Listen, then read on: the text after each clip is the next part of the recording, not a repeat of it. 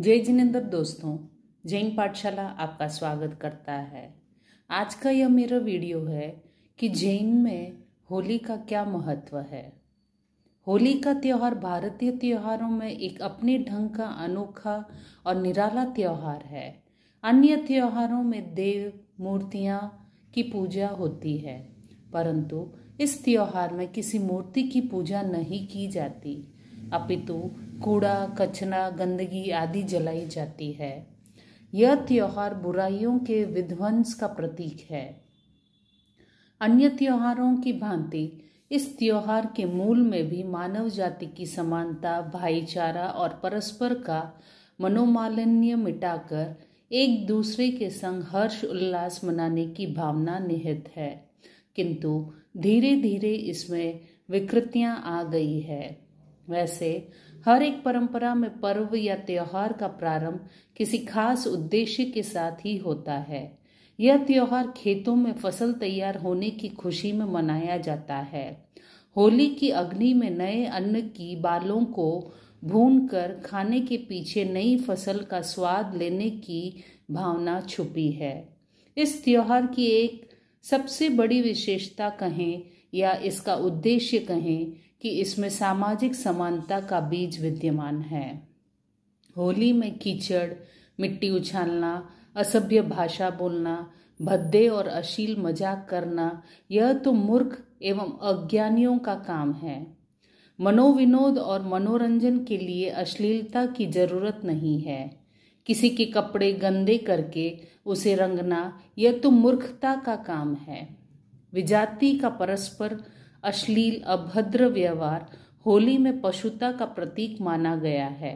इसलिए प्रत्येक त्योहार व पर्व मनाने में विवेक व ज्ञान होना ज़रूरी है। विवेक पूर्वक त्योहार मनाया जाए तो त्योहार आनंददायी होता है, उल्लास और उमंग देता है।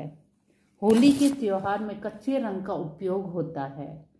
कच्चा रंग हमें सूचित करता है जीवन में सुख दुख के प्रसंग होते हैं। कटुता, मान, अपमान आदि के भी प्रसंग बनते हैं। परंतु उन रंगों को मन पर जमने मत दो। किसी के कटु शब्द, अपमानजनक व्यवहार, द्वेष और शत्रुता के भाव जो भी तुम्हारे साथ हुए, उन्हें मिटा दो। उन रंगों को उड़ा दो। गुलाल के रंगों की तरह इन पुरानों व्यवहारों को भुला जाओ। और मन को फिर साफ़ सुथरा रखो। तभी तो रंग बिरंगी होली आपके जीवन की सुख और प्रसन्नता देगी, आनंद और उल्लास देगी। होली की पौराणिक कथा हिंदू पुराणों में तथा जैन कथा साहित्य में भी आती है। जैन कथा ग्रंथों में हुताशिनी डूंडा की कथा प्रसिद्ध है। होलिका नाम की कोई वनिक कन्या थी। जो स्वभाव से चंचल और कामुक प्रवृत्ति वाली थी। वह चरित्र से भ्रष्ट होकर भी लोगों में अपने सतित्व की झूठी प्रतिष्ठा स्थापित करना चाहती थी और इस उद्देश्य की पूर्ति के लिए वह अपनी शिक्षिका परिवराजिका को मोहरा बनाती थी। परिवराजिका पूर्ण कुटी में रहती थी।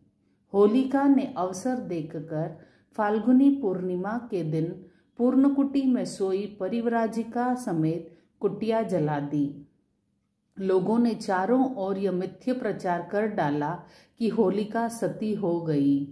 उसने अपनी शील रक्षा के लिए आत्मदाह कर लिया। लोग उस कुटिया की राख को पवित्र राख मानकर शरीर पर लगाने लगे। तब परिवराजिका जो व्यंतरी बन गई थी, उसने उस होलिका के दुराचार का भांडा फोड़ा।